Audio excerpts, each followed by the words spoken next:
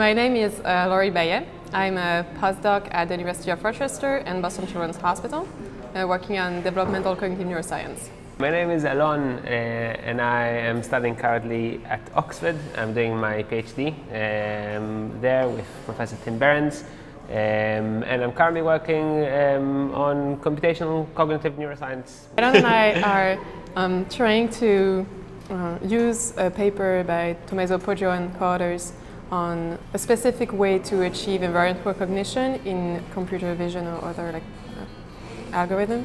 So we're basically trying to implement this in a simpler, simpler case and then moving on to um, face recognition in under rotations. The idea is that um, that most of the variance in um, in computer vision, when, when when an algorithm tries to discover what is in the image, uh, is held in very few um, manipulation, like a translation, which is just shifting the image across the across the field, or rotations, or scaling.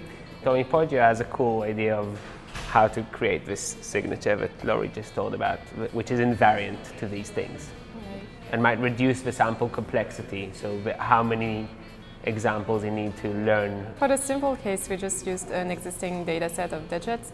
For the face data set, uh, we tried to find a suitable data set online, but we ended up just taking videos of people using materials provided by the summer school. So taking videos of people rotating their heads like this slowly. Yeah, it was fun. Um, or moving around a little bit.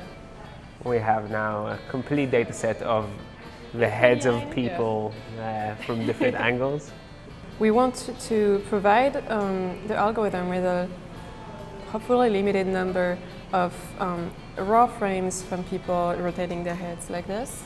Those um, templates, so to speak, can act then as like a, um, um, a kernel, so to speak, to be able then to recognize unseen people under various angles so that um, whatever a person is showing this profile or this profile, you would still be able to recognize it with the same level of accuracy that as if they were front, um, presenting a frontal face.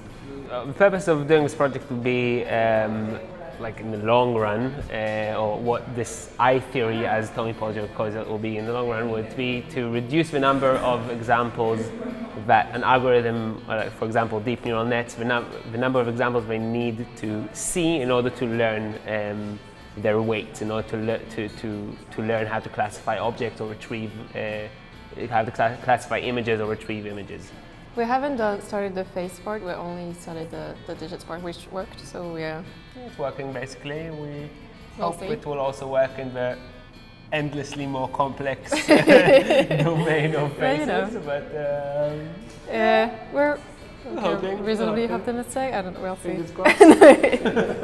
We've uh, approached the project from pretty much very different angles, but still ended up having common interests, which I guess is kind of the mm. hallmark of this summer school too. Like Alon has said, we're interested in the uh, engineering problem, so to speak. So like, how can we achieve this with machines?